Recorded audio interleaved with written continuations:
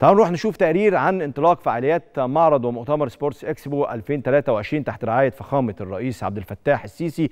المعرض اللي يهدف لتحسين النمط الصحي وبعدها نرجع الصحي وتنمية الوعي طبعا الثقافي والعلمي وانطلاق المهارات الإبداعية وبعدها نستقبل ضيوفنا. خليكم معنا.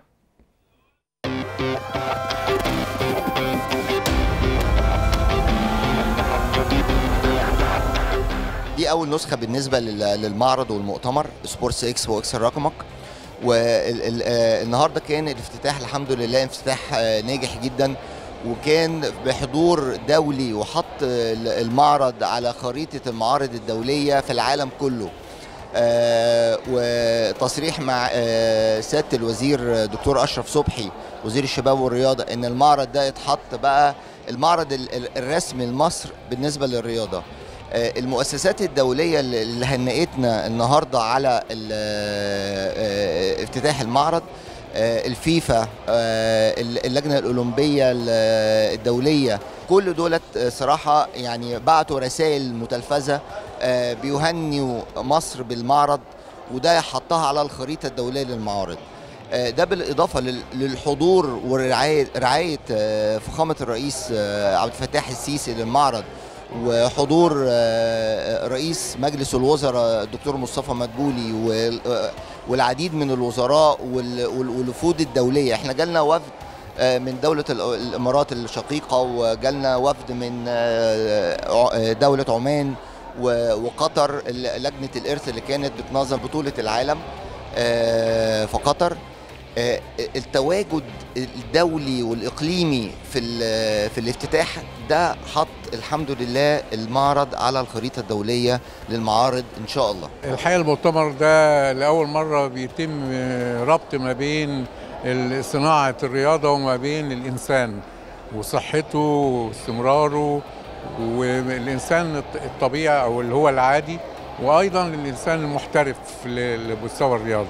لأن هنلاقي في في الندوات اللي موجودة أعلى ناس في في العالم موجودين إحنا جايبينهم مش معتمدين بشكل كامل على المصريين المصريين موجودين بيديروا وفي نفس الوقت بعضهم هيقول حاجات بتتعمل بشكل علمي زي المواهب الرياضية زي كابيتانو زي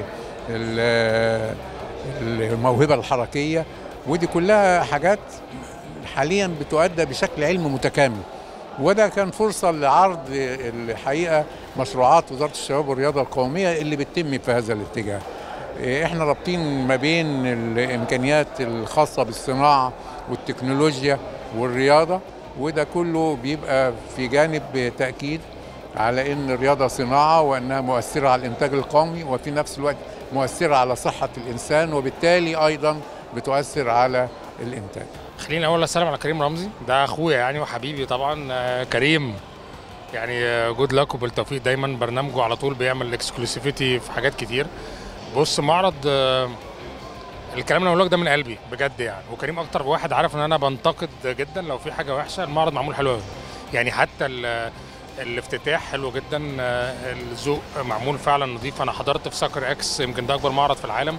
و WFS حضرت كتير جدا. و editions كتير. لا معمول حلو بجد فعلا. فده لازم أحيي وزارة الشباب والرياضة دكتور أشرف صبحي. التواجد يمكن دولة رئيس الوزراء دكتور مصطفى مدبولي النهارده بيخلي ال event يبقى كبير جدا وأهمية ال event السادة الوزراء اللي كانوا موجودين ال VIPs اللي كانوا موجودين. لا طبعا event معمول حلو. الرياضة والسياحة الرياضية ده حاجة مهمة جدا ويمكن إبراهيم عبد الجواد أخويا شرح وعمل يمكن دراسة إن أنت إزاي بتؤثر في الاقتصاد ال ال سواء المصري أو العالمي وهي دي أهمية الرياضة.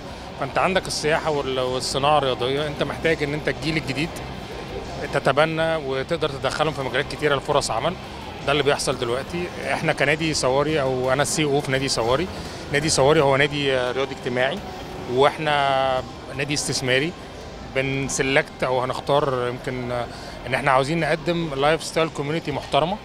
فبإذن الله إن شاء الله نكون قادرين بكل الخدمات اللي نقدر نأديها في كل في كافة الألعاب. اولا الافتتاح النهارده كان بيضم عدد من اللاعبين الأولمبيين والبارالمبيين اللي حققوا مراكز متقدمة ومحترفين رياضيين في في كرة القدم. في في في الدوري الدوريات الأجانب كلها دوريات آه، العالم كله يعني. فدول آه، قدوة مشرفة جدا للأبطال الصغيرين والشباب اللي عندنا إن هم يشوفوا ال- الأمثلة دي وإنه يسمعوا حكايتهم بدايتهم كانت عاملة إزاي وأهدافهم اللي وصلوا إليها. آه، حاجة مشرفة جدا إن إكسبو 2023 موجود عندنا في مصر.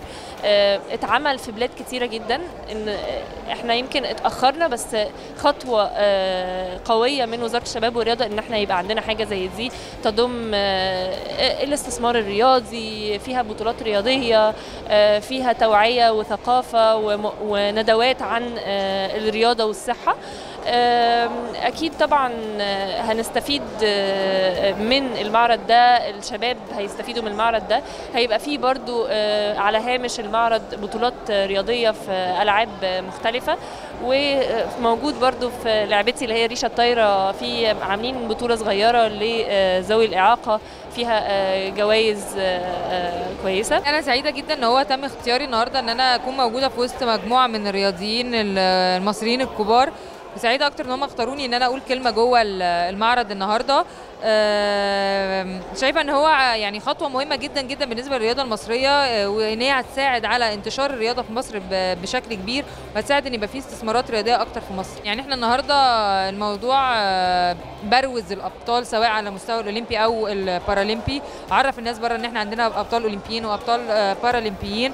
هيساعد الناس اللي هي مش بتمارس رياضة سواء ناس أسوياء أو ناس ذوي همم إن هم يتشجعوا إن هم يمارسوا رياضه لأن هم شافوا قدامهم نماذج ناجحة في الحتتين يعني. طبعا سبورتس إكسبو 2023 آه، طبعا إحنا حاجة فخورين بيها جدا آه، خاصة إن هي تحت رعاية السيد الرئيس عبد الفتاح السيسي واهتمامه بالرياضة في مصر وطبعا آه، بقيادة الدكتور أشرف صبحي وزير الشباب والرياضة ومجهوده الجبار اللي مبذول في في تطوير الرياضة في مصر. آه، من إقامة منشآت رياضية كبيرة أو من إقامة المراكز الشباب أو البطولات العالمية اللي أصبحت موجودة بشكل كبير هنا في مصر واللي إحنا فخورين بيها جدا طبعا.